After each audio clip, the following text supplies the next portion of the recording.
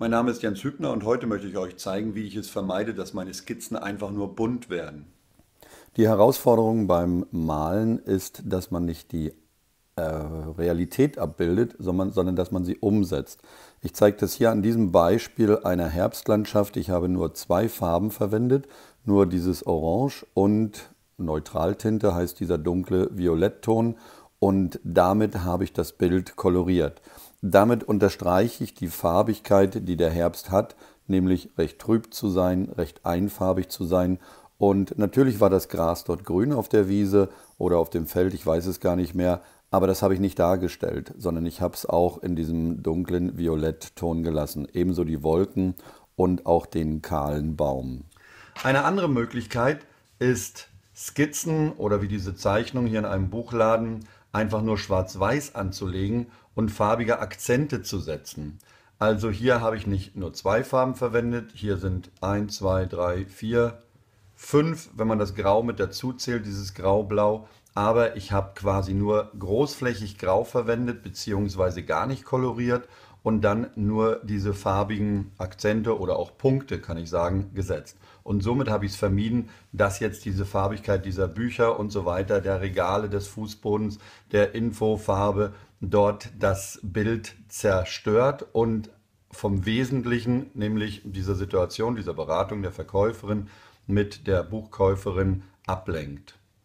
In diesem Zeitraffer-Video zeige ich wieder, wie das entsteht. Ich habe hier eine Zeichnung, die ich mit wasserfester Füllertinte gemacht habe. Eine Vorzeichnung. Ich mache diese jetzt feucht und koloriere sie zu Anfang mit einem dunklen Blau, mit einem trüben Blau, wie Indigo oder Painsgrau bläulich nehme ich da ganz gerne.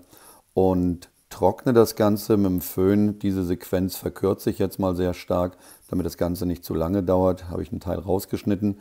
Ich mache das Papier wieder feucht und nehme jetzt die zweite Farbe.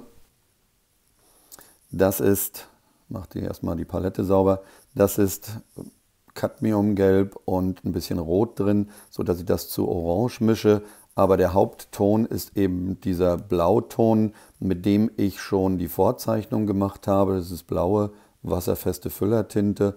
Setze ein paar Details eben auch mit diesem Orange aber hauptsächlich besteht das Bild aus Blautönen. Wichtig ist dabei, dass auch wiederum Wiesen nicht grün sind, Bäume nicht grün sind, sondern dass ich dort sehr stark abstrahiere. Das kann ich übrigens sehr gut, wenn ich die Skizze draußen mache als Strichzeichnung und drinnen dann koloriere und mir diese Stimmung, die dabei draußen herrschte, einfach versuche zu vergegenwärtigen und in Farben auszudrücken. So gibt es Herbstfarben, Winterfarben und so weiter. Und diese dunkle Jahreszeit kommt darin ganz gut zum Ausdruck. Zum Schluss mische ich die Farben noch, das Blau und das Orange, zu so einem dunklen Ton, um die Bäume im Hintergrund zu zeigen. Gebe da von dieser Farbe auch wieder was in den Vordergrund, damit das ein bisschen ausgeglichen ist und habe damit die Zeichnung so gut wie fertig. Ich zeichne mir immer gern ein Bildformat, diesen viereckigen Rahmen um die Skizze, den ich auch mit der Farbe verlasse, was ich jetzt gerade mache, indem ich dort eben auch die Bäume noch ein bisschen rausziehe. Sowas fällt mir ein während des Machens und diese Möglichkeit habe ich eben auch dadurch, dass ich links und rechts noch weißes Papier habe. Das soll es für heute wieder gewesen sein. Vielen Dank fürs Zuschauen. Ich zeige gleich nochmal das gesamte fertige Bild und würde mich freuen, wenn ihr das kommentieren würdet, liken würdet, teilen würdet.